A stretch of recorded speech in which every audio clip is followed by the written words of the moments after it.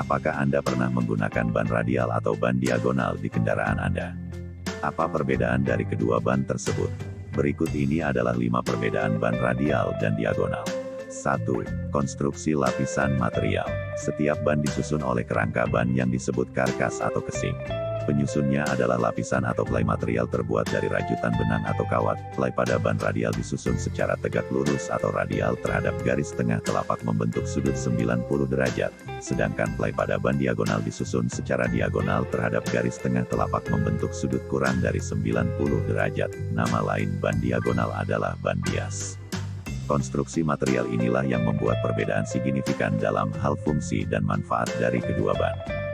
2. Penandaan. Ban radial ditandai dengan penandaan atau tulisan radial atau huruf R pada dinding samping ban, sedangkan ban diagonal ditandai dengan tanda strip atau tulisan diagonal pada dinding sampingnya. 3. Penampakan permukaan telapak. Ban radial area permukaan telapaknya terlihat lebih datar, sedangkan ban diagonal membentuk radius atau kurang datar. Hal ini dipengaruhi oleh susunan konstruksi ply dan rasio ukuran dari ban.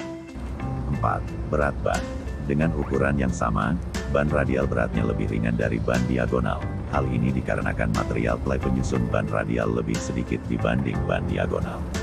5. Harga. Untuk ukuran yang sama, harga ban radial akan lebih mahal dibandingkan dengan ban diagonal. Hal ini dikarenakan ban radial memiliki performa yang lebih bagus dibandingkan ban diagonal dalam hal daya cengkeram, efisiensi bahan bakar, daya tempuh, dan handling.